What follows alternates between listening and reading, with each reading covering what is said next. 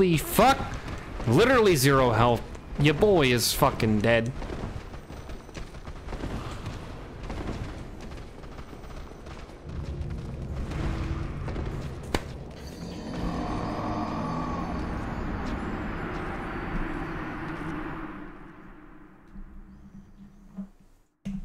I don't want to talk about it.